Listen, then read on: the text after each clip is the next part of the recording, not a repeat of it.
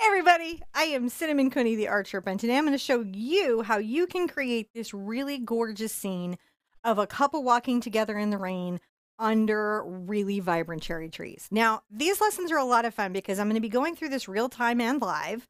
And because of that, on the mic is my husband, John. Hey guys. He's going to make sure that you see everything that you need to see by switching through our robotic cameras, zooming in, also taking questions from the live chat. That's great for people who are here right now, and it's great for people who are here later. If you're here on the replay, hi too. Hmm. because probably a question somebody's going to ask is a question you might have at home. Every part of this process is going to be broken down. And the goal of this is not that, I mean, it's awesome to watch me do a painting. I get it. But it's even better in my mind and in my heart that you guys do the painting. So that's what this whole show is about is getting you guys to be the artists and hopefully get to follow along. Now, to that end, if you check the description below, there's the first three lines that you can easily see, but you've got to open it up where it says more, and it's going to expand that description quite a lot. And below that is going to be a bunch of material information. There's, uh, we don't make you go to the website for the material list, though it is there. There's a bunch of material links that you can go to and get the stuff directly. There are extra things that I think will help you. There are extra links that I think will help you. And most importantly, on the website, if you go to the link that's here, it's going to take you to the page on it's going to be a traceable, a step by step infographic that you can pin on Pinterest because we're pintastic here, and extra information and videos to, to kind of really help you depending on where you at in your journey to Hoot. I think I've pretty much have I explained what I do? I I don't know. You know what? This is a bit like Groundhog Day because every time I have a lap, I explain what I do again. that, Who that are way, you? because it might be your first day. For those of you who are here for the 500th video, hi. I mm-hmm. guess you kind of say it with me now. At this point, it should be like the Rocky Horror Picture Show, right? At this point, you just throw bread at me. All right, so let's turn around and check out the materials.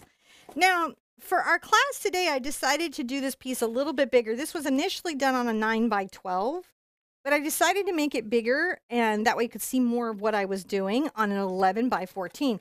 These are artboards. I grabbed them at Michael's because it's close. You know, uh, for an economy stretched uh, canvas or an economy board, either is fine. They're kind of six of one, half a dozen of another. We like to do wishes. It's a thing we do on our show where we put wishes, intentions, ideas, or thoughts that we'd like to see in the universe. And the most requested wish that I have been getting lately is just so much love and outpouring for everyone in Australia, for the animals in Australia, for the people in Australia, for the for the first responders in Australia. So the wishes generally come down to everybody's wishing safety so that if you're in the path of a fire that you're safe and you're not harmed by it, support for anyone who's been through it and and needs support, healing for those who need healing, and we'd like to see the fires be put out. And then for everyone who's been impacted in a, in a, in a region, that there's hope and help and aid coming to you. So that's been sort of an outpouring online that I've been receiving where people have been asking that. Over here, I have the colors I feel like I'm going to be using today. I've got Cad Red Medium, Titanium White, Quinacridone Magenta, Phthalo Blue, Phthalo Green, Cad Yellow. This little sucker here, Luminous Opera. So many questions you have. I can feel the force. Hmm. All right. So what this is is this is a neon pink. Now this particular neon pink is one of my favorites and this company makes my favorite neon. February I'm going to be doing a bunch of neon paintings. So this is a company to get familiar with because it's the most light fast. I also have carbon black. Before you ask, can I use another neon pink? Yeah, you can use any colors you want. It's fine. Your painting won't explode. It'll be okay. It'll just be a slightly different pink than mine and still spectacularly awesome. So, not a problem in any way, I would think. you can see I use different brands of paint here. I have different colors. Things are really, it's much more important to get the value. That's how light or dark something is than, say, maybe the exact color a thing is. Now, I'm going to put out my phthalo blue. Uh, those of you that paint with me a lot know what's coming. Here we go, some phthalo green. what color could I be intending on mixing? Those of you who are in the know, you can share the information. I'm also going to put out a little titanium white and be a good girl and squeeze from the back for once. I like to squeeze from the middle of my tubes, and it's a terrible habit to be in. And then I'm going to put out, I think, a little of my quinacridone magenta already and my black over here, just in case I need to darken a tree trunk or kind of deepen that value. And so if I have those colors there, those are my favorite to do. Now, those of you who guessed correctly, ding, ding, ding, ding. But if you've never seen this, when you want to make phthalo turquoise, you just take one part phthalo blue and one part phthalo green, mix them together, and you have phthalo turquoise deep. Add a bunch of white to it, we have phthalo turquoise white. It's amazing. it just goes like that, on and on and on. So that's our color, and when we need more, we'll make more. The next thing that I'm going to do to make my life just a smidgy smidge easier, Mhm. I'm going to use this micromister. Now, with these boards, be careful when you're using water to uh, improve the flow or blendability of your paint because they can overabsorb it. They're not like an ampersand board. They're not resilient to that type of technique. So you have to be light and careful with it. So I'm going to very lightly and carefully mist it. That's just enough to get things going. And I'm going to take a mildly damp, big, giant, chunky brush. This is a number 30. And go ahead and blend my watercolor wishes into the world. And I certainly hope we're going to see some feedback soon that that went well. Hmm. Now, the next thing that I'm going to do is I'm going to get my brush wet. I'm going to pull in some white and grab a little bit of my turquoise. And we're just going to go back and forth. We want a very light color, and it's good that it's streaky like this, especially down where the couple will be walking. And the reason that it's good is that will help actually give the illusion of things being wet underneath our stroll, our people who are strolling, our strollers. It feels wrong. Your strollers I feel, yeah, I want to say strollers, but that feels wrong. They could be tootling or ambling. Toodlers, I feel better about toodlers in a strange way. They they might even be, you know, ambling. Amblers, I, I think they're more toodlers than amblers. Amblers feel so very unfocused. Hmm. Oh, I So- tend to amble and wonder. you wonder why. meander. I, I do. You're a meanderer. Even in the house, you meander. Nobody knows where you are. I, I don't know where I am. So you can see that all I'm doing is just covering this whole canvas with this very light color. I'm taking this brush back and forth. See this? And that wide, strong stroke is not only helping me cover the canvas easily with paint, but it's giving me those slight little streaks. Right? And those are nice. I might even come and put a little white on my brush and even down here just preemptively come across and improve that streaking down here.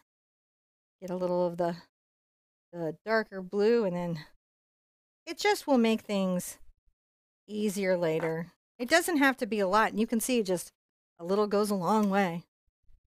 These are subtle things, but they're effective things.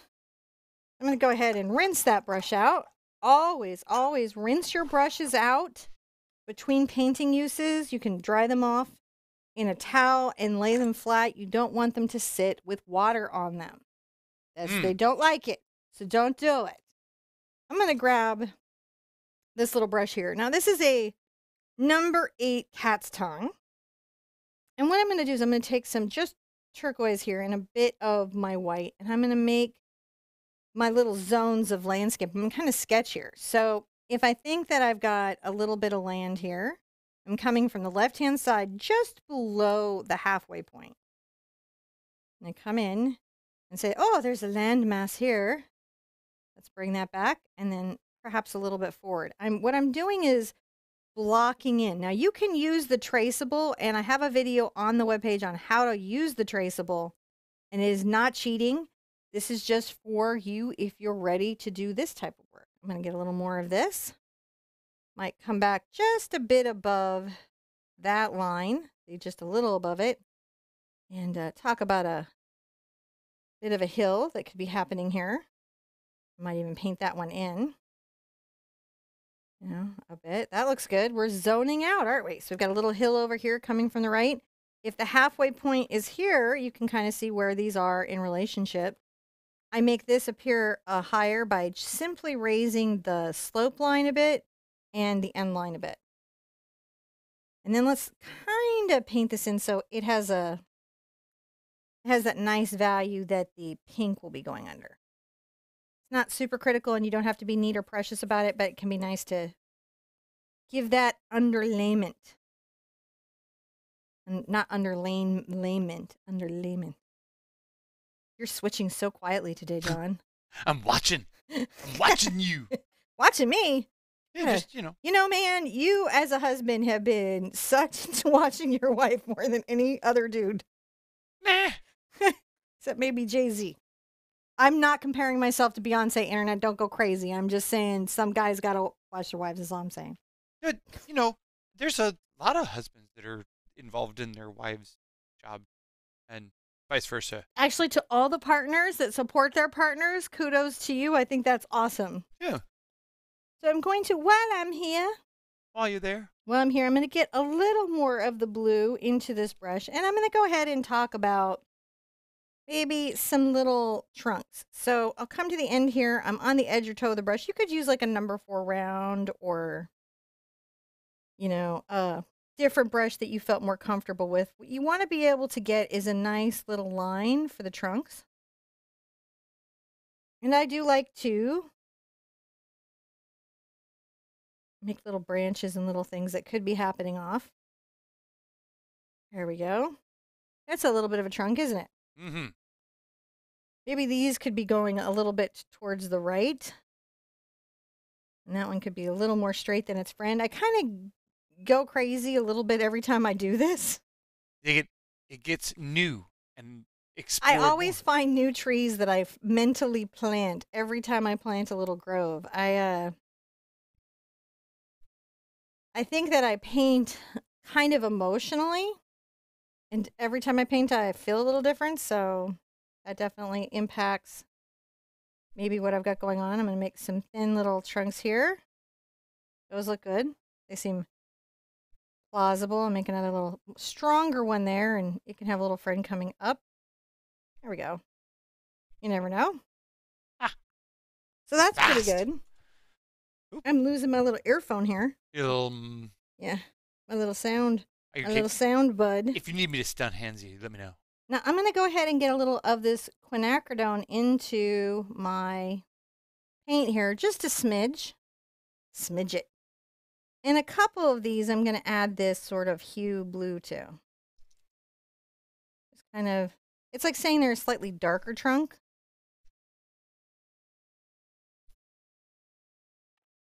See how we're doing? Mm-hmm. Just a nice little way to strengthen those up. For the next part, there's a couple of ways to do it, and I'm going to show you some of them. You can take a brush that you have and mix a very light but darker, one shade darker than the background color, and start to plant in maybe some in the misty trees. This is the trick on how you put some trees in the mist. I'm going to use my brush on its edge. I'm going to make little circular motions. And that's one way that I can get this distant set of trees back there. But what you want is a slightly darker color. The other way you can do it is get a little bit of turquoise and a sea sponge. And you can come here and just tap up and down. A lot of people really like this method because the texture is so reminiscent Mm, of trees. it's true. It is. So it just gives us that nice little tree shape, Gives a tree vibe. tree vibes. All right, so there's that. And the trick is just to have it again be about one shade darker than the background. That's the mistiness. Now I'm going to come here and I'll demo the other one back here. I'm just rinsing out a bit just in case I want to use it again. Put it to the side. The other tool that I like to use, if you have this brush, the number one ultimate varnish brush, you know I love it for everything. Get it wet. Take the moisture out of it. And you can get a little bit of your turquoise in it. And we can tap that in. As you can see, it needs to be lighter than that. It's too dark. water. There we go.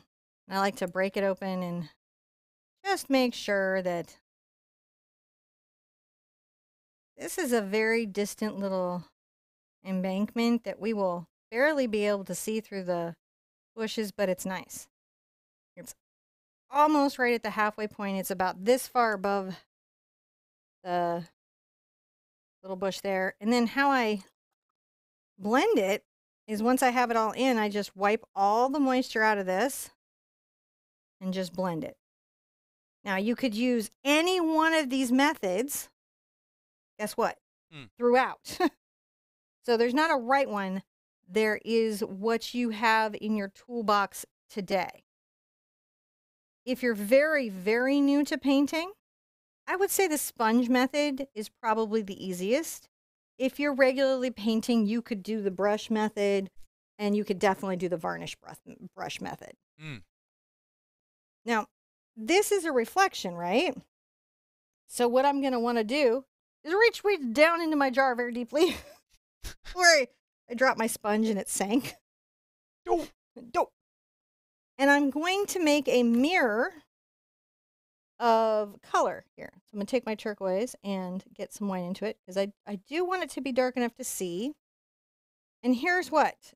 It's basically, and sometimes it's easier to do it on the side. I want to bring this in. So I've got to make sure that what I'm seeing feels like perhaps the mirror reflection of what's above it. So I'm going to take that and then I'll go ahead and give myself some little implied trunks.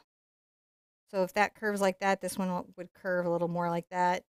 You kind of just mirror the little shapes that you're seeing, right? So if this bows this way, it bows the opposite down low. And then once those are all in, here's the trick.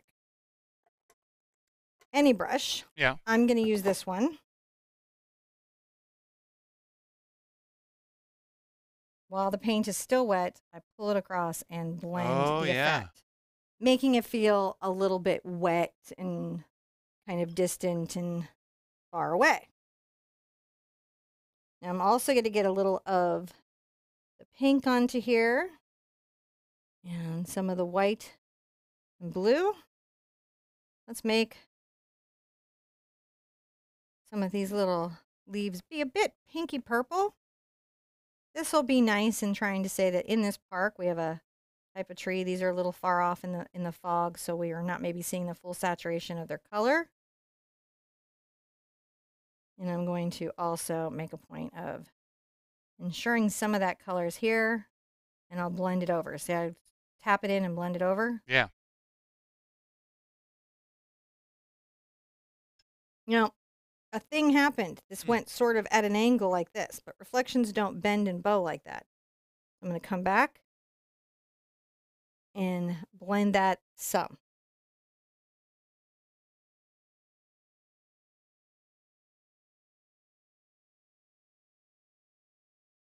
There's just little hints of that. That went pretty well. Yeah. All right. So, this is essentially uh, through step one on to step two. I'm going to sip my coffee, ask if there's any questions uh, while we're letting the paint get a little bit tacky. I don't want to be tacky, but while Mm. we're getting the paint a little bit tacky and see how we're doing today. There was some interesting question. Patty was asking, different Patty, Patty C, have you ever painted a Mississippi pine tree? I don't even know that I could identify a Mississippi pine tree versus a Texas pine tree. You know, there's the strip working. Do I know the tree? No, I do. I'm just trying to think if I intentionally done it or has it been sort of a side effect of how I'm holding my fan brush. Hmm, I and what I would say is that more specifically, I haven't like studied a Mississippi pine tree and then reproduced it, but I would say that I have done pine trees that have more of that bow to their branches and more of that structure and shape. Right? I've probably done a Torrey pine hmm as well, and a few northern uh, California pines. It they they have. If you look at pine trees, if you look at uh, if you just get on a gardening thing and look at just like what types of pines are there, it's really fun as an artist because you're going to see that Sometimes the branches are spaced out with huge gaps. Sometimes they're structural, like a like a bonsai tree. Sometimes it's fluffy. It's it's like somebody fluffed the tree. Yep. And then um, you know, sometimes they kind of do the Bob Ross thing, right? Very, very neat and tidy, being all very Bob Rossy. And it, it really seems to depend on regions and climates on how it affects it. So yes, but not specifically that tree. I would say more have intentionally done a Torrey pine and certain other pine trees that are more like, this must be painted. Mm. You know, is that, I hope that answers the I think question. that does. I think that does. No, there was another. There was a Mm. technical question. I love me some technical questions. This was Vicky was saying. Does do you know? Can you put resin over a varnished painting? Okay, on that specific one, you're gonna have to call the company that made the varnish and ask because everybody's varnish is a little bit different, and this becomes serious chemistry. Gotcha. I'm sure there are varnishes that you can because they're um, not a Soluvar. I don't know if on the removable varnishes you could put a resin over that. So just look at the bottle of the varnish that you used and look at the resin that you're intending to use. And these companies always have helplines. Call them, rate them, and wait for the answer because that's the number one thing you can do to prevent your painting from being permanently damaged. Is just ask the people who manufacture the products because they will have they will have dealt with it Mm-hmm. like in a way that nobody else will have dealt with it and they're super invested in you not having a terrible experience so they're going to want to help you. It's a motivating thing for them. All right back into the the fray shall we? Absolutely. fray it up. Fray. Put a little of my white out there again because i certainly kind of chunked through it very quickly. I might add my cad red at this stage. I'm going to use some golden cad red today because i have the big tube. I gotta power through it power through it i'm also uh da, da, da, i think that's good i'm not going to put any luminous out uh, yet I'll stay in this little brush. It's been happy for me. You could use a number four round or a bright, just whatever gives you good trunk. And we're going to start to put in our bases. So our basis will be a little bit of our turquoise into our magenta and some white, right? Because it's it's farther away, so it's got to be it's got to be a little misty. Come along here, and it can be nice to sort of be a little rough not too even with this distant line because there's little deadfall. Mm. And so even though it wouldn't be distinct, there would still be a sense of shape for it. You do want it to be light, like, you know, other distant things in your painting. So add enough white and desaturating. If your color is too bright, you can always put a smidge. Oh, be careful of black in it to deaden it and get it to distance itself in its illusionary way into the Mm. surface. You can see I'm just adding a little bit of white, making sure this is a slightly lighter little space. And then coming forward, I'm going to get more into my magenta. I might even get some of my kind of had red into it coming forward for the basis of my little side planting over here. And what you're going to see me doing, I may I may turn it like this, Yeah. the opposite direction of how I have it, just so I have an easy angle to get into it. And I'm going to pull the brush back. I want to make rough little edges that imply, oh gosh, just the dirt bank sort of breaking down as they do. Because they do Yeah. and uh, get right in there and have that going on. So, okay if I pick up a little purple, I don't mind. Just trying to make a deep color with which to build everything else up with, as you do. Mm-hmm.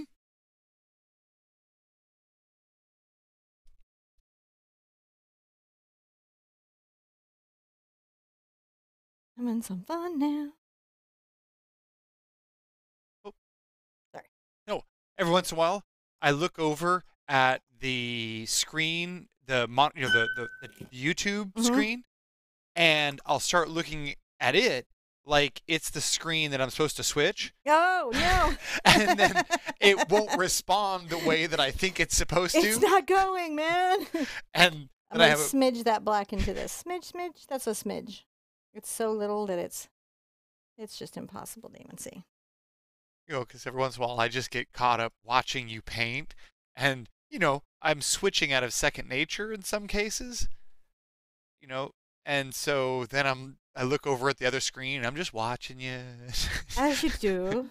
and then you don't move, and I'm like, why isn't it switching? Oh, wrong. I'm doing similar little trunk styles over here, same brush. I'm making them light so they are far away, distant from us. It's fun to do. I like them. You're you're still on that cat's tongue, yeah? I'm still just doing the cat's tongue because I just, well, got lazy and I'm not switching brushes. And that happens. That's what's nice about this brush. You can use whatever you've got. Keep using it. You don't have to stress on it nearly as much. And it'll give me the nice point and the nice trunk and some different stuff. So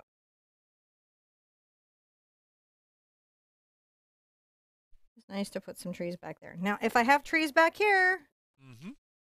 definitely, definitely want to talk a bit about some trees here. And I can use my my brush. Is that the ultimate varnish? That's the ultimate varnish brush to sort of blend that and and cause that to kind of streak out. Maybe the ultimate blending brush now. And I'll get thicker there with the paint because I wanna I wanna uh, I want to really want to see it.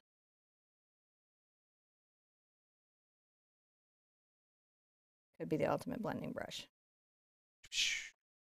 Makes makes that water look really. It makes it look easy to do. Is what It it, is easy to do with that brush. it doesn't just make it look that way. It is easier. But you can still do it. There's lots of tools that'll do it. Don't don't ever feel like, oh, I don't have that. I, I'll never be able to do this thing because you'll be able to do the thing. You'll be okay. Yeah. Now I'm also going to.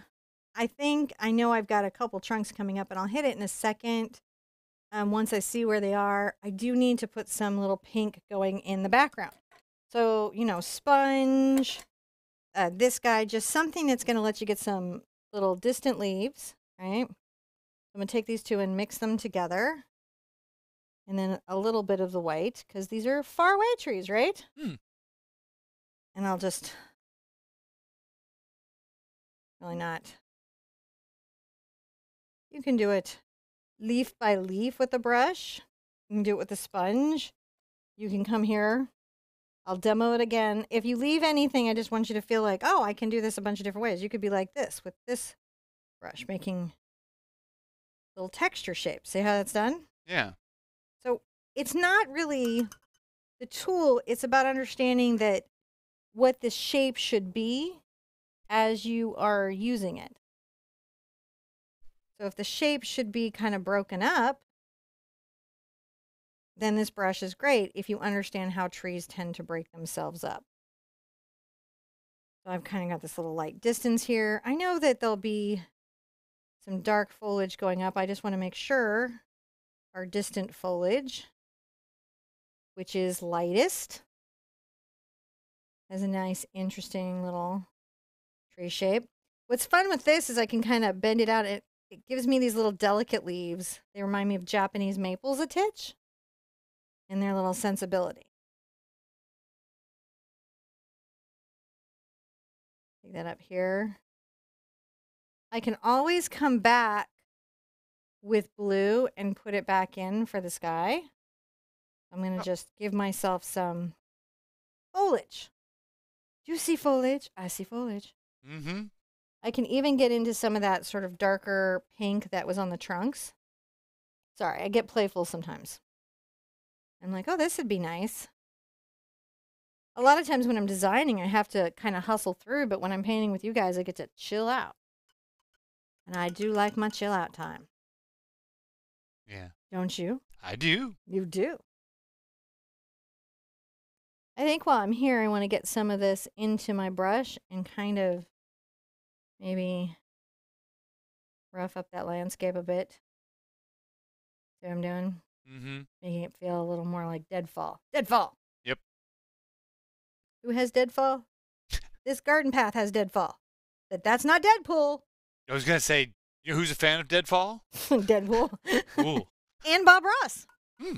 Yes, he is. that's true. That's how he stays calm. But you know what's funny What's funny. is Deadpool is a fan of Bob Ross.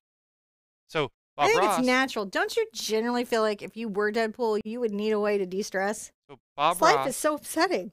just, who who can't love that dude? He's just you know. That's a very upsetting life that he has there. Yeah, I, I don't know that I could live uh, Yeah. the way that that Deadpool has to do that. It's a rough thing. It would be it would be stressful, I feel. I, I, I feel got a mellow. super stressful. I got a super mellow job. I'm gonna put out my luminous pink, my luminous opera. I like opera pink just in general. It's a fantastic pink. Um, but you could use any neon pink that you get. Someone was like, "Hey, you know, I got some fluid neon pink." Some other people are like, "I got some artist loft neon pink." It's all fine. Hmm. You just want that neon neonacity.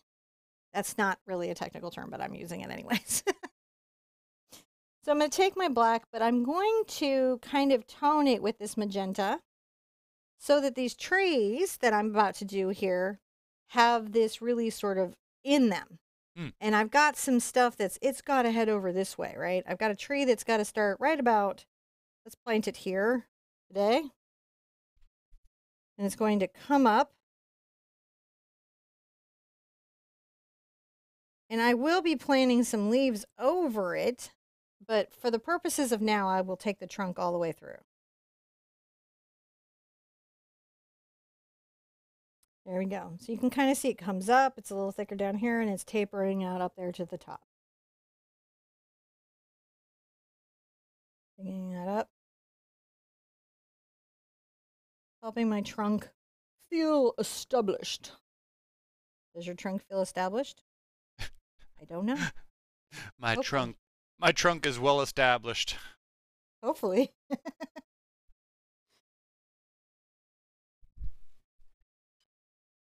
there we go. That's a nice bunch of branches that I can give my couple to walk under. Sometimes the tree branches end up really high, sometimes they end up really low. It's a very strange journey for me. Mm-hmm.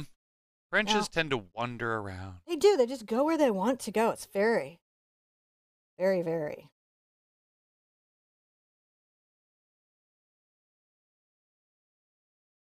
Be mindful of how you planted your trees, even as you're following my lesson, right? Every time that you do this, there'll be micro differences between it, and you want to make sure that you're adjusting for what's on your canvas, not just what's on my canvas.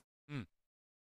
You know, so think is this, you know, is this making a nice shape? Is it leaving the right kind of room that I want? Cool. Yeah, I did that. I'm going to do some strokes over here. That helps. I'll let you know where I'm going, baby. Because you see me, you're like, oh no. No, I've just. Uh, I'm a little jumpy today. Jump, Oh. jump. Probably put some of that back in. I'm just talking to myself about where I think some trees are going to go. As you do. Definitely need one back here.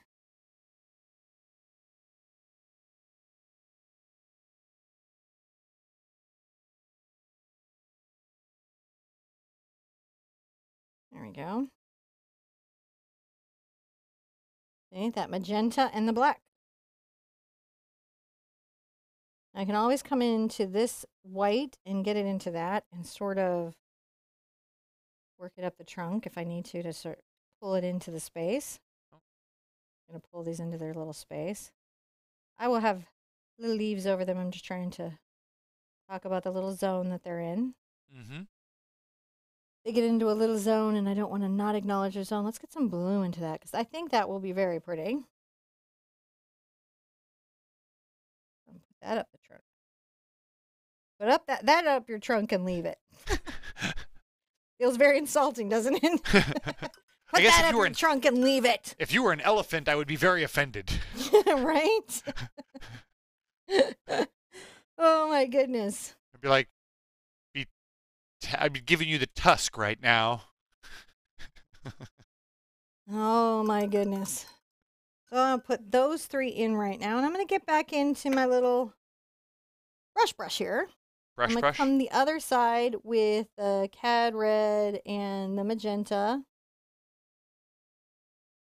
And I think I will Ooh. a little more white into that. It needs to be pink. I mean, they're cherry trees. In yes. Need more cherry flavor on We those do. cherry trees. We do a little more magenta. Too much uh, cad. Want to keep them into that pink range. Let's uh, maybe bring some leaves over that way.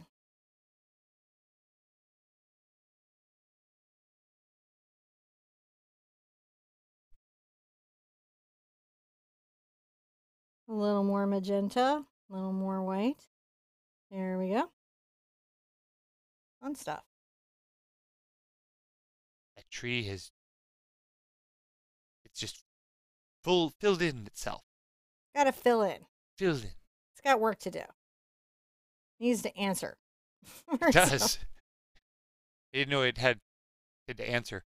Has to answer for Has to itself. answer for itself. Yeah, I think so. Let's go down here now. I really am enjoying how that does that little wispy leaf bit. I'll probably get into it with a square in a second. And I'll be putting some of these trunks back. I just want that basis of leaves there. So where needed, you know, you're going to want to come in and get some trunks. I still want some more leaves though. I don't want to leave it like that. oh, that was just some magenta and some white. Isn't that a nice layer? hmm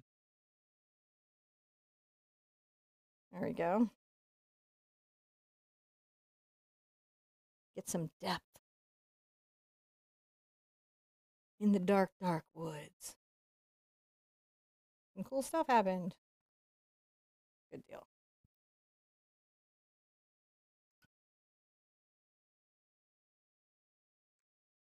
Let's get back into our little trees now that we've got this sort of worked out and we can talk about it some more.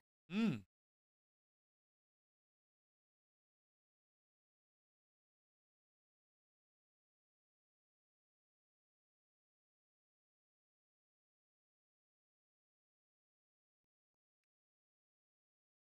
Think it's fun to have some of the branches showing strongly and some of them peeking out from between leaves. Yeah, it implies the density of the canopy.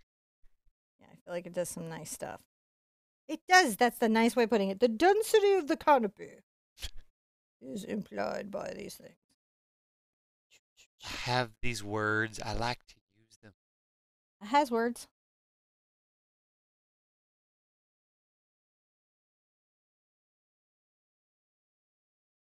Density of the dark trees behind here. True. Using your atmospheric perspective. I'm doing something. Isn't that isn't that what it is?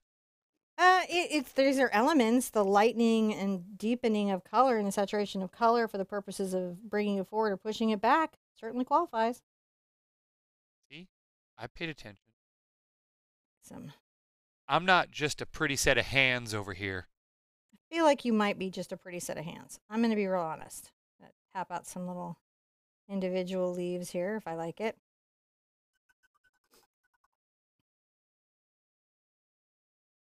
Now, you can come in, take a little bit of your gray color, but I like to get some yellow into them and make a little highlight. I'm going to come and highlight some of these.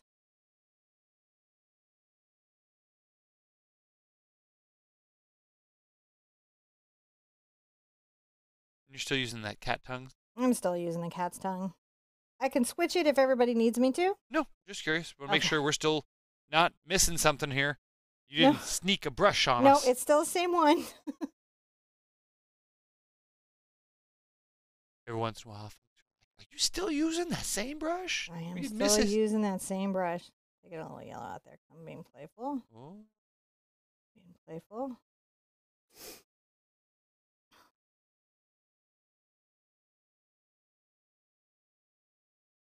You're kind of stepping back there. I'm Hmm. I'm trying to let everyone see how far you're stepping. Oh no, no, step just- back. no. That's for you, babe. Oh, I thought you were just trying to paint from the from like. I mean, I like getting- to paint from the back of the brush when possible. You know, and that does help you. I tend to on the show sometimes Mm. get like really wrapped up on my brush. And I'm just trying to push that back. And then if I want to kind of push that branch down, I just come and get into the pink that I had. And I'm just pushing that branch down. I do. I don't have to stress on that or be worried about that or any of that. More magenta. Oh, Oh. did a paint fart on me. It did a little bloop, bloop. It really did. I'm gonna pull out some CAD red, and interestingly enough, I'm gonna work it into my luminous opera. I Start putting some of these pops of color in where I Oh, that really pinks it up. It just is going to be very saturated. You can get some white into it. It really does some interesting stuff.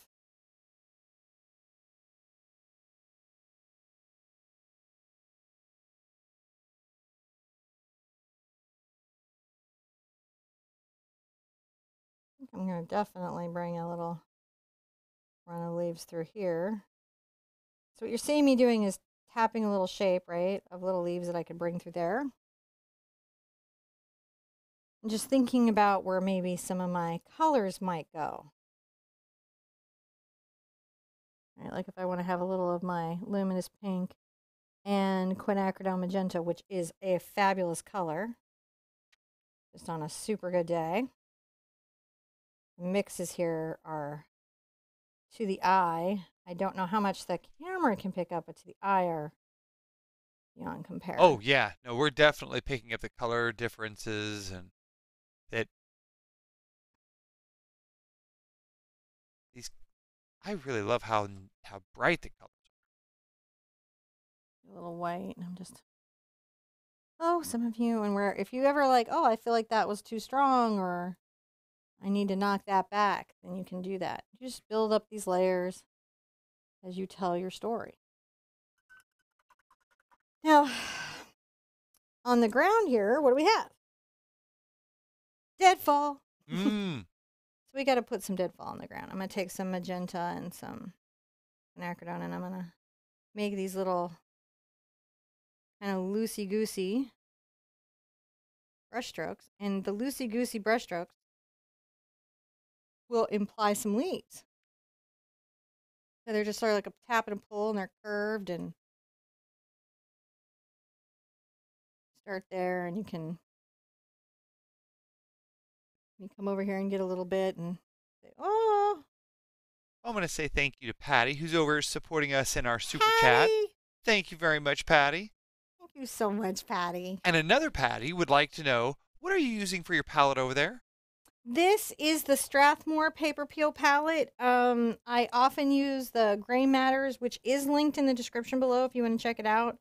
Um, I like these. They're my preference. They're really it's up to you. I don't enjoy cleaning palettes, Mm. right? Uh, but if you're gonna use a tem- uh, glass palette, please use a tempered glass one. Mm. I really have to say, cardboard on the back and duct tape around the sides will not protect you from glass from a frame spontaneously shattering. No. And it's a thing that happens, not It all does. the time. No. Infrequently enough that somebody will put in a hack video, guess what you can do and save money, and they'll tape around the edges and they'll do that. And then not enough people have anything happen, and somebody ends up, eh, you know, getting their hand slashed open. I'm just, Oh. I mean, like, total, totally statistically speaking, I mean, like, if it only happened one in a thousand times, It's too many times. but how many thousand people watch a video?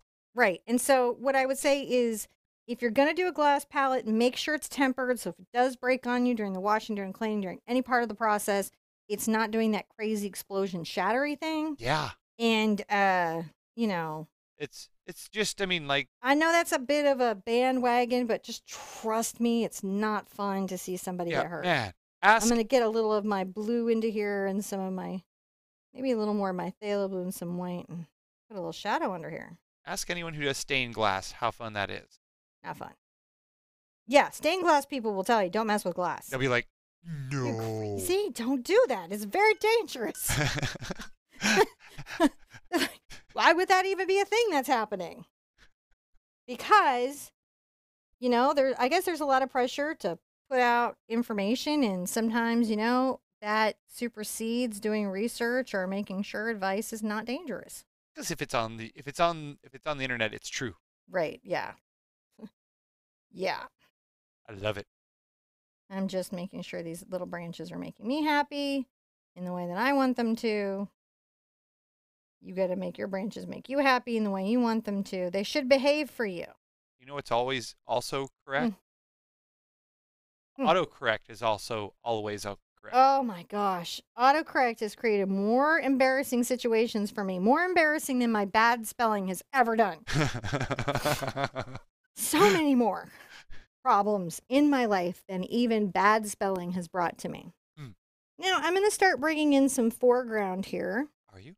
And so that this is more of my focal tree. This is my my more ooh, um forward tree. I'll still put some magenta in it, even though it's gonna appear black. That minor tonal display will make the big difference. I'm gonna come into this zone, not all the way to the bottom, but right here in the mid zone. Let's plant a seed. There it is. Mm. And let's grow a big tree trunk up. This is your strongest, oldest tree in the walk. So it's the trunk is the thickest. It's also the closest to you, the viewer. You can see I'm just trying to make nice, strong, thoughtful little brush strokes here. Yeah. And that's a nice little top of a tree. Things are happening. Tree topping. Yeah. Top that tree.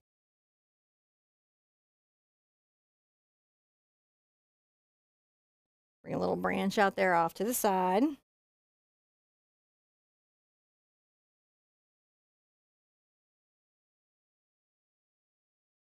I like to make these little stops and starts to my little tree branches. They feel branchy. Hmm. Sort of like, you know, tree being cheeky. True. Cheeky you don't tree. want you don't want just a big you don't want lumber. You don't want like, you know. What? I'm gonna It's- put some yellow in my brush and some white for some highlight. It's got to have some branches, otherwise it's just a stick. You know.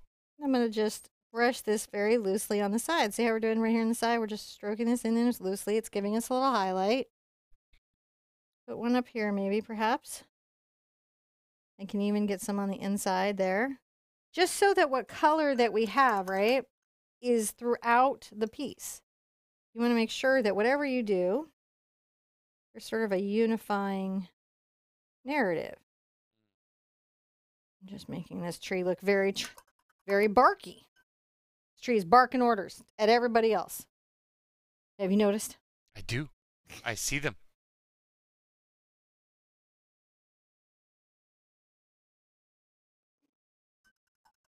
Now, I don't really want to put new leaves there till all that black is dry because the black will come up and kind of dull the color, and I won't really love it. Okay. So I'm going to dry this real quick. All right. I'm not. Ooh, no denied the dry. All right, so you're gonna turn around and tell them about why it's important to dry, and I'll fix. So when you're painting in acrylic, especially, you are always balancing your creative process between leaving leaving layers wet and letting those blend into each other because wet layers blend into each other, or hmm. layering layers and they only layer if what's underneath is dry. A lot of times we like to mix colors on the canvas where the paint is wet, a new color is is introduced, and they mix together in a beautiful and painterly way on the canvas. But sometimes you just don't want black right here, so you gotta dry it. So, this is a live show. In case you guys didn't know that, so that was totally unrehearsed. As I'm sure you can see, that was very professional and well executed. And this is again live with the Art Sherpa on YouTube. So, thank you guys. Seriously, uh, make appreciate you guys joining us. What? I was just saying this is totally unrehearsed. That was What? everything. Oh is no, we don't rehearse. We're You- this good You can tell. I know they know that. no. We're, I mean, like Y'all we, know it. You. There's no. They're not sitting at home going, gosh, they rehearse so much. I was gonna say. It's a mad miracle this show happens at all. but for uh, my stubborn determination and John's stubborn determination, probably would not be going on. Mhm. I'm going to take a little of my turquoise. Well, and also the fact that they're here to support us. That is a key ingredient. We too. we got a big crew of people who love watching what we do, and you guys make it possible. So thank you. Yeah. But outside of that, it's sticking to itness. so I'm adding a little bit of my uh, back, this little background color that I had to do a couple of things. Hmm. I'm pulling some of this color back into the little deadfall area, and I'll bring leaves back into it. But I want to be able to do that wet blend. So to be able to do that, I've got to be able to get that trunk color kind of engaged. And if that comes like this, then that's going to be oh, you got to kind of mix it into the shoreline. Yeah, gotta maybe be talking about some reflections that could be happening there. So once those are messily in, but the paint underneath is wet, very light pressure, I can erase the whole thing. Mm. There it goes. What a what a wet day reflection, isn't it? It is. And if you need more white, guess what? Just gets up. Just drag it through where necessary. All good. Put some over here while I'm at it. Just feeling some white.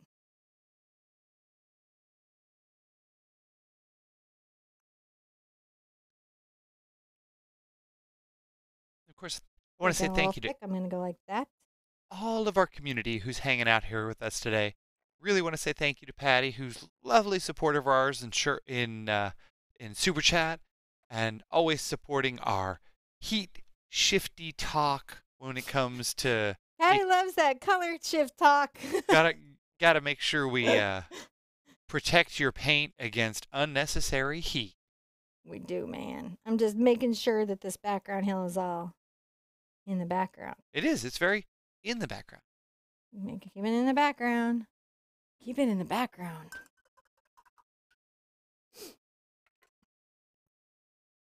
So now we have a whole bunch going on here, and Yeah. we can start finishing out the trees. And the trees are a fun little mix of colors. Uh, you know, of course, we've got our quinacridone and our magenta. You can put a smidge of yellow into that and grab white, and you get an amazing color. Which It's very cherry tree centric. Oh, up there. So we're gonna start to tap in some little leaf shapes, right? Yeah. Hiding some of these little branches. Maybe talking about a, a wonderful fall of branches that's coming forward. I'm just getting some white in my magenta, bringing those forward.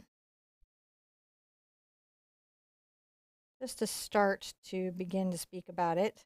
Leave room for your couple to walk. I like almost lost it the first time. I was like, got so excited about the tree.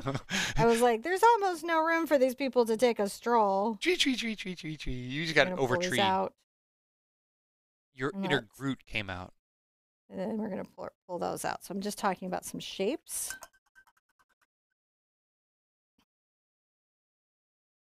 Magenta and a little bit of the neon pink that you have. So much fun. Now, Lorraine and many others have been commenting how beautiful the colors are in this. I'm enjoying this too. And now that there's a better uh, neon paint out there, I'm kind of excited about doing some of these more luminous lessons. Uh, also, since I have you guys using the luminous color a couple, couple of places, I'll make sure that there's more lessons so you can use up your paint. Yeah. So when I do introduce a new color, I do try to make sure that I build on that lessons. Um, there's a set of luminous colors by Holbein I wholly recommend and I really like Golden's blue, and that should get you through anything you need. Um, but I've seen all kinds of sets in in like Michaels and different places, so don't feel like you can't. I'm gonna bring this little run of leaves down this way. hmm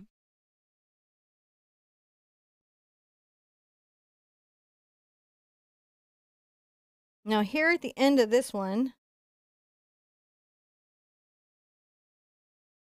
I'm going to add a little white to my pink so that these leaves are more delicately placed out. My tree has grown a bit. Every time I paint it, man. Yeah. Every time. Every time Every time. trees grow, The trees grow. that's okay. It is okay. I accept the trees need to grow. They do. They need to expand their They do. They need to they need to expand. They need to have their little moments. I'm gonna bring some little values here. Oh, that's a nice little value there, right here in that corner, that white and luminous pink. Ooh. Maybe let's bring a little run of leaves across here. So we're just layering these little power moves, right?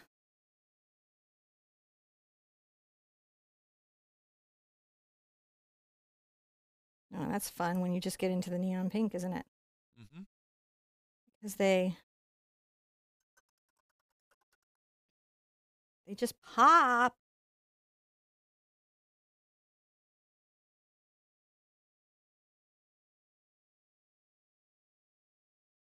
And I love that final little run of little tiny leaves coming. Yeah. Make me super happy. They make me space out and watch you paint. Yeah. They're fun colors to use. And yes, they work they're reactive to black light. So these parts of the tree that have this, that would all Oh. be glowing in black light. That's actually kind of cool. Hmm. Pulling that forward and I'm just making sure that these bright focal leaves have their own kind of spacing, their own kind of layering. I got my white here. Now, if you want to make sure it stays luminous, luminous, luminous, Lukas Paints makes a luminous white. It's the only one I've seen. Hmm. It's quite good. I, we did a bunch of blacklight painting at one point because I was into it. And I learned about all the different companies' blacklight paints and pigments and how they worked and how effective they were and their shelf life and all that. We might do some more of that. We could You if we know. feel creative enough. the Sherpa gets a wild midnight whim every once in a while. I'm going to put some of my cad yellow into this and get some white and make kind of this interesting orange color. They were like, we can hear John thinking about getting a black light. Already got a bunch hanging over her head. Yeah, there's, it's not even a thing. It's- no, it's not. It's a switch. I would I would flip them now, except it scares her whenever I turn off the lights in the show. no, it doesn't scare me. It's just it's just a crazy pain to flip them over right now. We, we have to plan flipping we do. them over. It doesn't. The cameras are have to be set up for it. Actually, The cameras do. They have to be. The, oh, these new ones were better, weren't The they? new I'm ones are adding way some more better white into my luminous pink.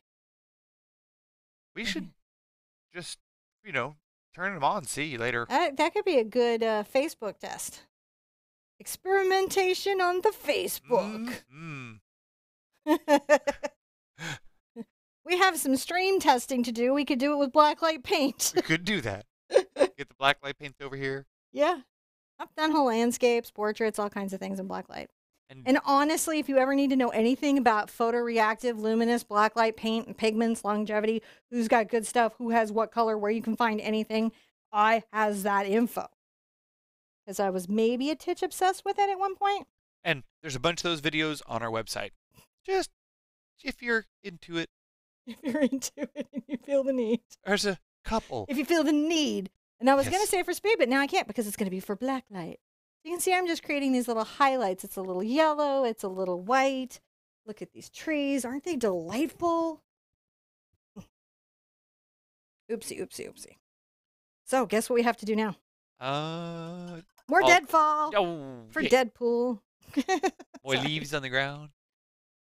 All the leaves are brown, all the leaves are brown. Sky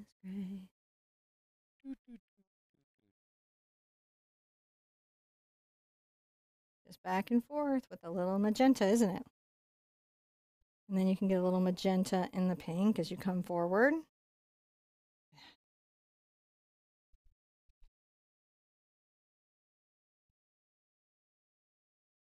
like to just mix it up.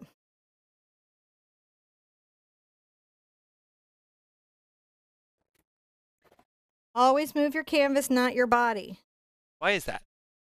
Because you want to protect your body posture and not hurt yourself. Ah, keep that artist form so you don't hurt your arms. Yeah. Because there's nothing like going to a sports injury doctor saying, Oh, it's so embarrassing, guys. I have to do it periodically, and it's they're like, "What'd you do?" I was painting a lot,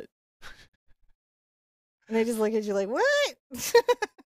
and she has a, she does, she has a sports doctor for her painting arm mm-hmm. and her posture. Stand up straight, Sherpa. Yeah, if you were in a say like taking you were in art school, so a couple things that art school gives you that sometimes being self-trained won't give you, right? They're both equally fine, but sometimes there's benefits in each choice, Ooh, right? Yeah. You can't say one is necessarily better than the other. It's just one benefits in a very specific way that maybe the other one doesn't. And one of the things that art school gives you is you usually have a professor comes by who will in some way remind you that your posture and how you're engaging the artwork is going to create injury over time. And material science. And material science, especially safety in the studio. Yes. It's very important to have safety in the studio. Uh, uh, that is where sometimes being self trained leaves people at a mild deficit because they just weren't, they don't have a background in the studio safety. I'm going to go ahead and add this blue, just a little bit of white and blue underneath the tree. Because, you know, shadow. I like coming up the back of the tree with that. Cheeky. Right. 'Cause I'm a cheeky bugger. It was fun, and now now it's gotten away from me. All right, so the last little bits of deadfall I actually want to get once my couple's in because I want to be able to layer all through there, including them. And I kind of want to heat my coffee. Is that doable? Um, yeah. Can you can you I can answer tell the world something about yourself that's semi interesting that will hold their attention while I I don't think coffee? I can tell you anything about All right. myself that's semi interesting. There's no illusion that I have in that right now. So what I'll do is and I have no topic to even answer. What I'll say is so like right now in my life what's been sort of fascinating is if you only see me on the YouTube channel Oh yeah, I have an event. Would you like to come paint with me? Marketing. We don't do it enough. So uh, I have in March an event where you can come uh, stay with me and paint with me. And I, I, okay, well, let me just stick with the retreat. So it's the Trip Retreat. If you go to the website and you click the events tab, it'll open up more information about it. It's uh, five days, four nights. Food is included. We provide the art materials. Um, we'll come pick you up from the airport. And we just do that week together just art art art art art. It's acrylic and watercolor and pastel right now currently on the plan. And i'm going to introduce people to plein air painting which is the super fun fancy way of saying doing art outside. I honestly think it's a good thing to do because it's really useful in your regular life because if you travel all you go on a vacation you're probably going to want to paint something on vacation. So this would give you know a foundation for that and then we're going to get a bunch of cool footage about people painting outside so yay for that That's gonna be so fun. that's going to be really fun. It's in Hot Springs, Arkansas. All right. March 18th. So there. I didn't I didn't have There we go. See, look, you had something to fill the air with, and they were interested too. Really? I feel so dorcasy. Mm. I feel so dorcasy. That's okay. All right. My couple is basically blue, black, and white with a titch of yellow. I am so they're kind of a tonal value. There's a traceable. If you're not into drawing, if you're like, man, this is cool and all, but I don't feel like drawing this couple, don't stress on that. You don't have to do it. Um, just use the transfer method and you can put them on. I, however, am going to make some little decisions and kind of draw them in. You know, they're an interesting little group. So hopefully the pink chalk will work really, really well. It's going to make purple. I Sketch in. need to have them end about here, in about this space, and the top of their umbrella at the tallest needs to be under the branches. So, you know, you got to plan that. I'm gonna carve this down. Oh, it's an umbrella shape, which is basically a very squished triangle that I'm going to arc. That's not too bad. Mm.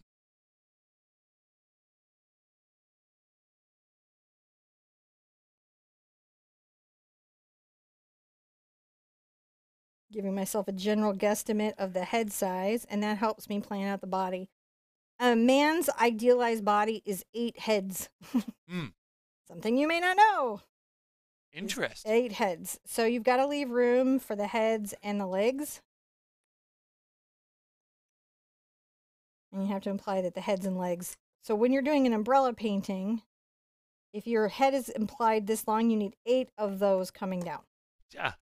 That makes it's, sense. It's a guideline. It's not a rule. Obviously, people come in different different heads thing. Now, to do this, I initially start out with just a uh, the dark black and blue, and I kind of work this out in my dark values and add highlights as I go.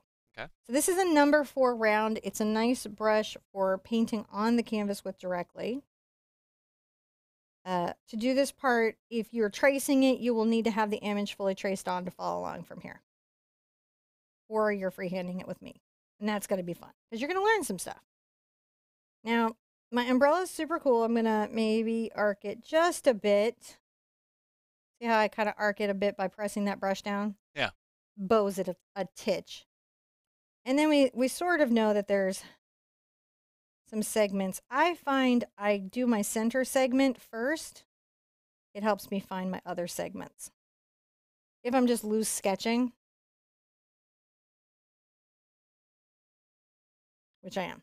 So there you go. Kind of a loose, loosey goosey umbrella. Mm. And I'll just get that on there in the little dark blue.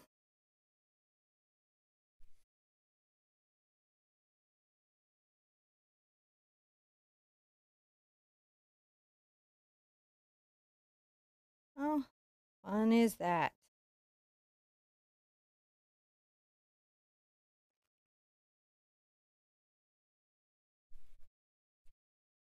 Pull it, pull it. There we go.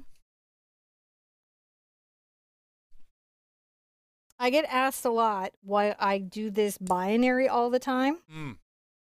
Mm, Here's my candid answer because I know I'm going to get asked this after. It's not that I'm like trying to like say it's got to be a binary picture. It's that if I show you a guy's figure and a girl's figure, you can make whatever you need. It gives you the most examples so that you can customize this painting yourself. I highly recommend that you paint things that you would like reflected in your life, right? So change the hair color, change the age, change anything you need to in the painting to make this be perfect for you. But that's why I always do it that way. This gives you guys the most options of combinations. It doesn't really help you with robot that much, but short of that, you're good. Is that okay? You got all Mhm. quiet, John. No, not at all. Okay. I would, I'm, I'm actually just in chat. Oh, All right. So I'm going to imply a little head here, kind of peeking out, right? There's his little head. It's peeking a little bit under the umbrella. And I know I'm going to want some space between him and her. Now, his collar comes out a bit past his head.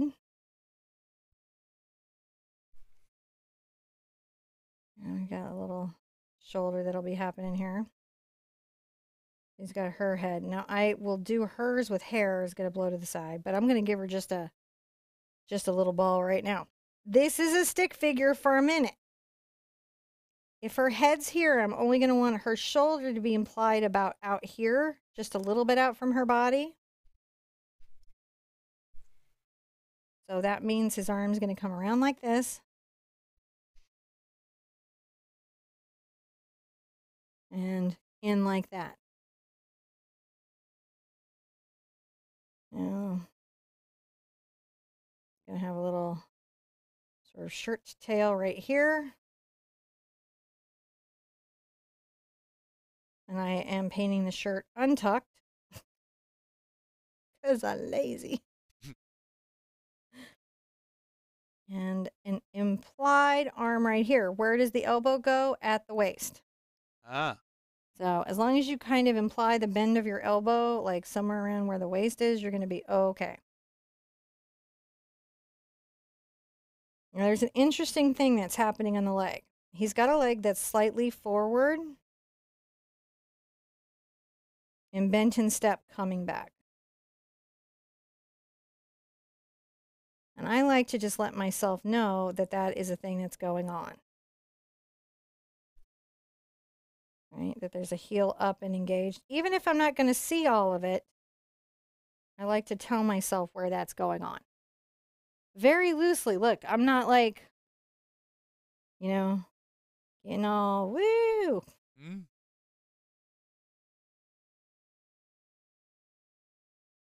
And this leg can be slightly forward and more engaged.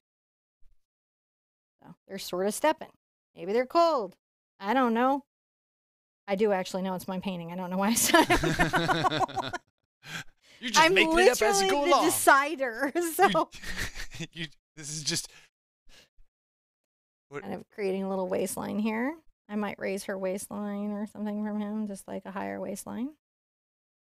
And I know I'm going to have that there. Now her legs. All right. She also is kind of mid step. I'm going to bow a little line right there. Little ball. This is kind of how I figure out where I'm going to talk about high heels, right? Mhm. Now they're forward ball. This little ball sometimes will be higher than that one, and the heel will end at a shorter spot. These are little things that I imply. So this is a crazy wonkety drawing. When you're in the step by step, you would be looking at it going, "What's she doing here?" Now you know why I did it like that. It's because I'm going to have to put a highlight here and a highlight here, a highlight here. Where I'm going to put the light and shadows is going to give the shape to what's happening on the couple. Mm. Right? And the other thing that I'm going to do,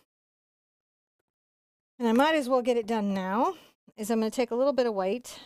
Let's get the blue into it. But we can get a little dark on this. We just want something to blend into. yeah, you can see how he's leaning on her because he's having a hard time walking on that slippery surface.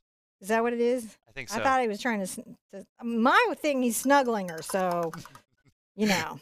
I'm just I'm joking because she's in high heels on this super slick surface, so it's like woohoo. So I'm going to just put some of this dark color right here while I've got it. You know? Because we want to talk about the dark shadow. And I've just wet that area underneath. I bet you mm-hmm. guys can guess what's next. Gonna Use your ultimate blender.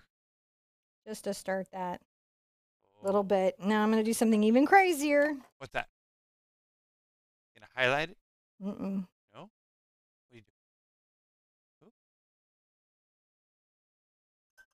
Don't know what that is. That's a little Watch. shadowy. hmm Oh, you get You take it on the side.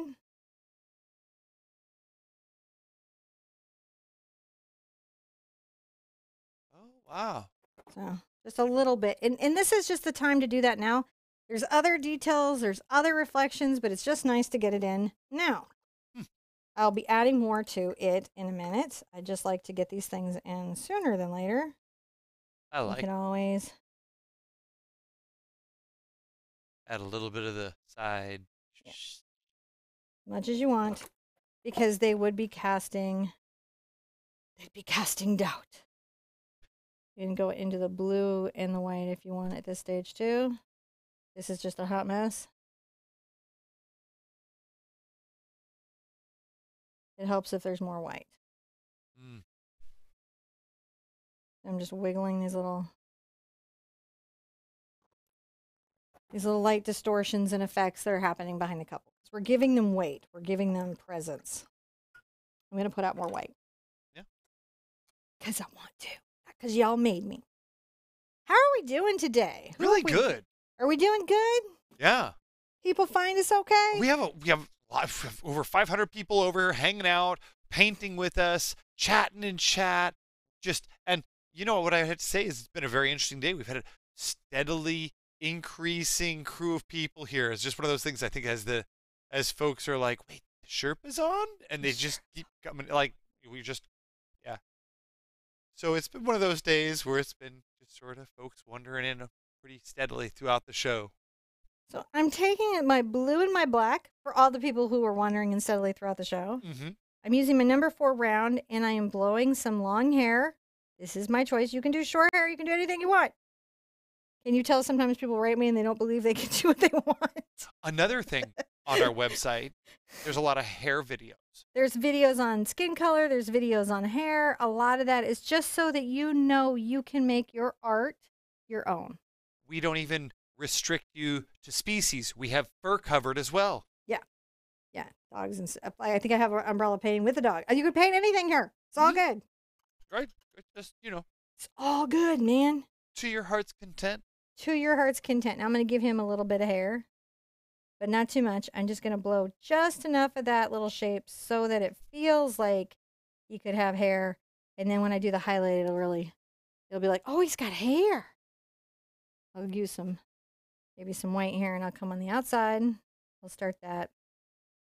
I can even do that on her just a little bit, Mm.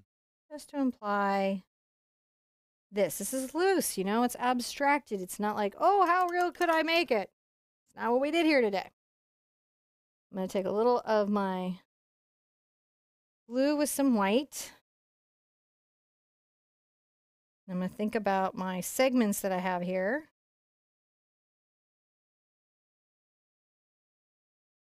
Kind of get those back in. I don't want to paint them too realistically, but I do want to know that they're there, right? Like if I come right here and I paint in this segment.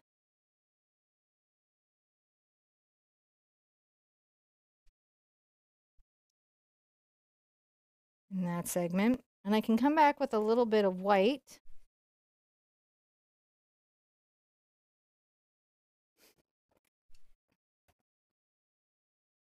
Come on the outside of the umbrella. And kind of put a little highlight there. And maybe we'll put a little highlight right here. Pick it up further into the top of it.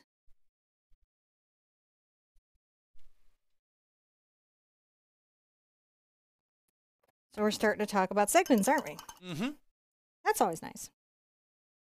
Wonderful, good things to do with our free time on a Tuesday. On a Tuesday. On a Tuesday. Doing the stuff, Painting the paint. painting the painting. I Now I, like get a slightly lighter value and come to the top and shape it out. Your parasol is pretty. Parasol is pretty. It's fun to do parasols, I think. They're sort of entertaining to do, you know, and I for as miserable as it can be to be out in this type of weather, Now- it's really fun to paint it. This is not a Prussian. No, you could use Prussian blue on this umbrella and it would be fine. It would not be harmed. This is a Phthalo parasol, which doesn't match nearly as nicely. What? Doesn't rhyme. Oh, Prussian parasol? No. Phthalo par. I don't know. Prussian parasol is much better than Phthalo parasol. I wasn't gonna like sit there and give it a value judgment like that, but sure. You know, you just feel you must. But you're using Getting some just black and kind of refining some of the that that black really makes those edges stand out. just yeah, refining it a little bit, being thoughtful about it a bit.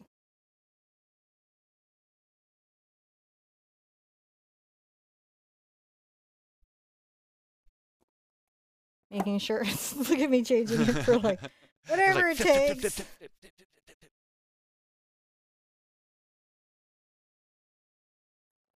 I'm gonna actually talk to John about somehow mounting a lazy Susan to a board for me so Mhm. I can do round canvases on the easel. Like right after the show. So I'm gonna take a little bit of my white and blue, I think, and make probably the lightest color on my umbrella. Just for that outer corner. Maybe a little bit there.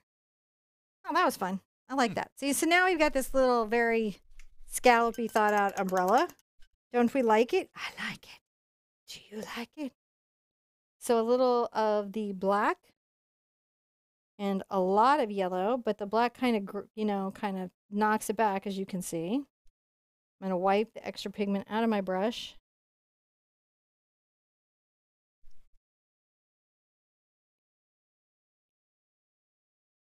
Touch of gray until I catch it. So it's just a very warm yellow gray.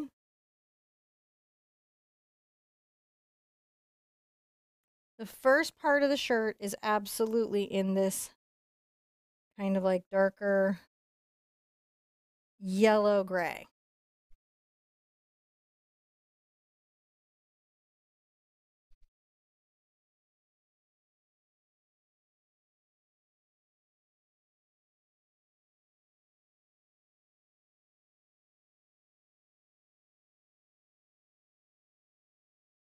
Pretty wonderful, pretty good.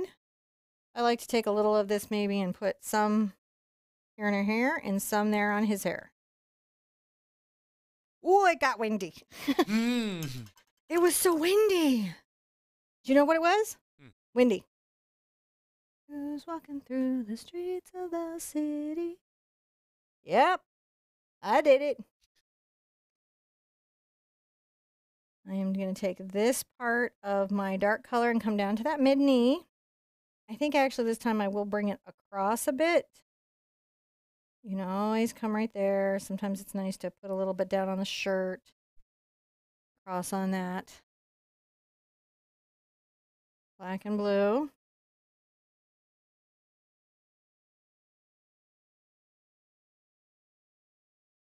Now I'm going to imply where her arm is, but I'm going to get it in with just a highlight over that dark value. And I think right now it's just important that we blow her skirt aggressively into the wind.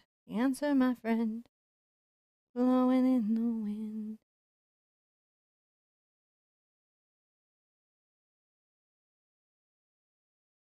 And I actually thought of something right now I'm going to do to make this even cuter Hmm. than I originally did it, but I'll have to do it at the end. That? It'll be like a special only for those who watch the video. Oh. Yeah. This is really coming together. Yeah, it's so fun to do. I think our is our next one Love Gnome. Is the Love Gnome next? I'm really excited about Mm, the Love Gnome. I don't know. I'll have to go to look. All right, so the front leg on her, we're gonna take out a calf and taper it very delicately to the heel. All right. I think it's important to have this be somewhat darker.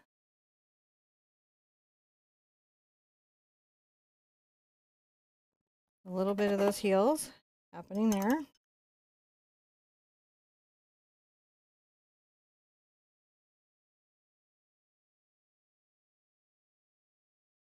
But coming back, the back leg should be slightly more highlighted.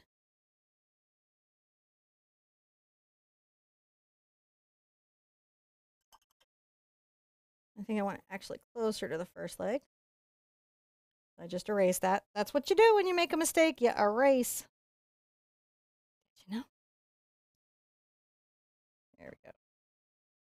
You want the legs to be fairly close to each other because they are overlapping. Even though they're just implied, it's still nice to have them be overlapping.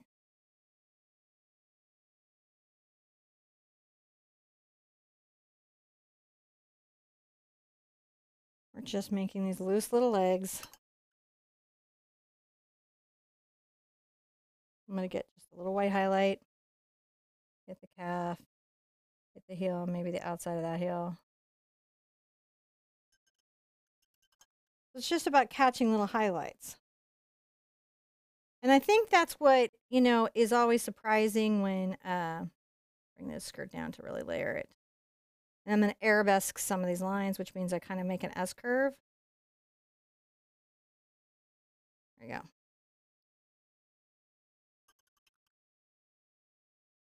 A little blue and white right here in the outside arm. That kind of caught a blue and white on the dress from here. What we're doing is we're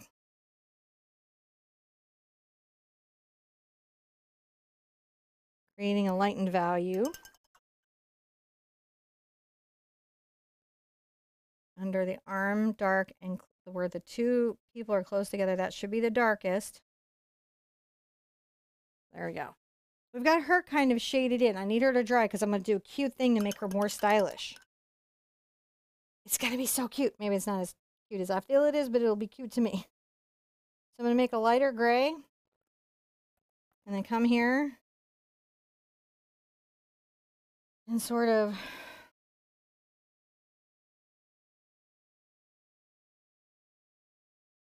the light gray there and this gray right here.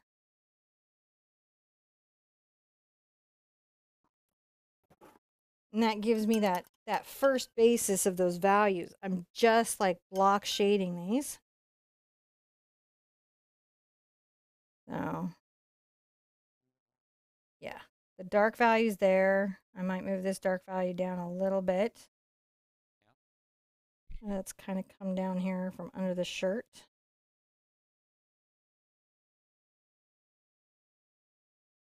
And even though that's gray, that's still darker than the other. A little bit of a smidge of a highlight there. Can't be too much though. If it's too light, it won't feel like the second leg. And then a very, very light highlight kind of back here. And then there could be one there, maybe the outside there. So hopefully what you're starting to see is just the shape and movement of the leg without the specificness of the shape of the leg. That's the goal anyways.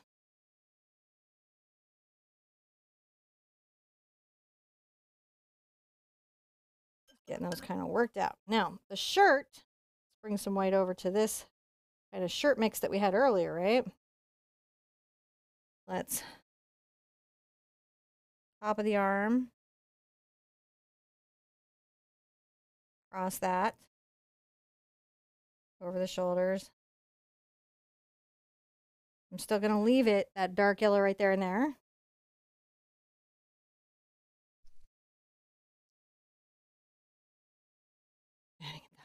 You know, you add stuff.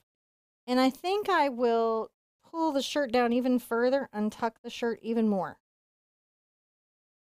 There we go. That's what I was looking for. See how that's better? Now, one last highlight that's pure white. Kind of on that shoulder, collar, back a bit. Mm. Even hit some of it maybe on the calf here.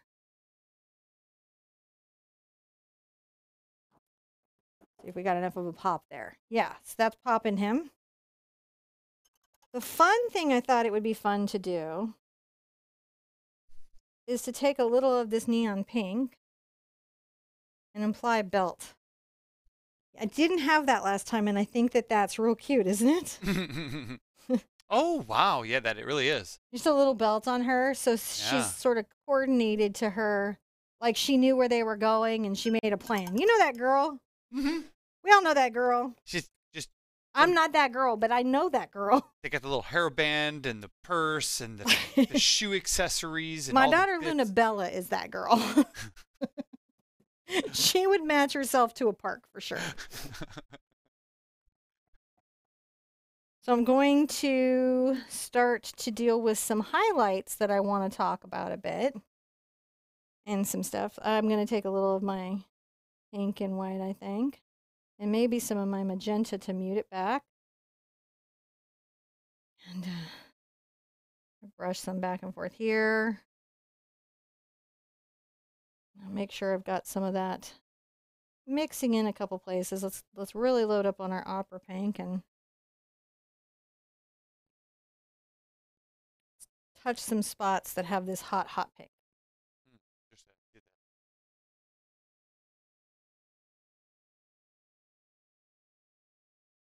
Leaves out from there. I think it can be nice to have a few little leaves here across this little Mhm. bit for sure. Right? Just or two that have fallen through. Yeah. Hit the umbrella maybe.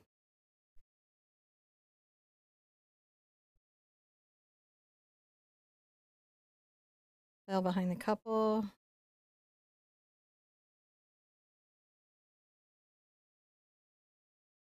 Use this to make a bit of a highlight there. And then we need one more value after that. So you're going to take your white and your neon. It's a very light color you're going to make next. Let's put some of these little. Sometimes I like to add a little yellow to it, so if I grab a little my cad yellow just to orange it up a bit. There we go. Talking about some of these different little fallen leaves. I'm just touching it around there. Mhm. So definitely add some of these They if on top.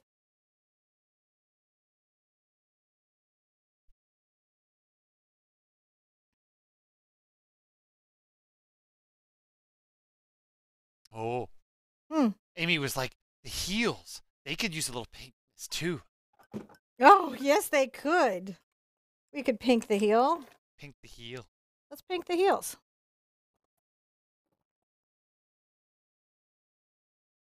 Good call, Amy.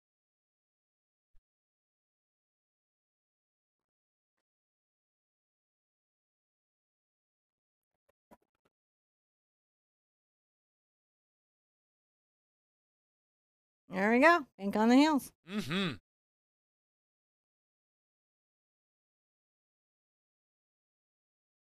A little neon pink and some white for some little highlighty leaves. These are quite light.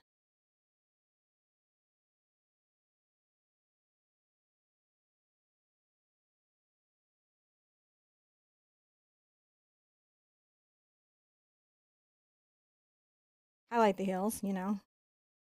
Maybe the belt a bit.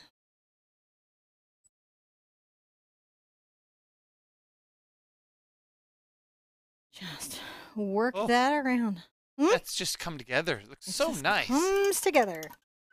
And the last little thing that you might like is to get some white.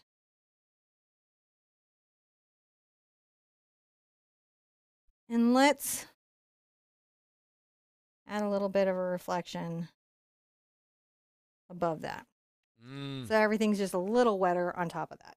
That's so good. once you're happy with this fun little painting and this is the one of the rare cases i will do a bright signature it's because that's already in the painting so it won't pull away from the whole composition Mm-hmm. you know i try not to do crazy colors that pull the eye but in this particular case i think it'll be all right And you're using uh, what kind of brush? this is a number one monogram liner Those monogram liners have really fine point. they do and i really love them it's why they're in one of my sets so there we go that's basically how you would create that Yeah, How'd you guys do? really good. This has been a really great chat. We've got over 600 people here, and they just all showed up. They were just loving this. Just Cinnamon doesn't get to see the chat, so I got to tell her what's going on. I don't really get to see what's going on. I do try to go back and read it. Oh, yeah. You know, when you guys give feedback here, here's what this is me as a teacher.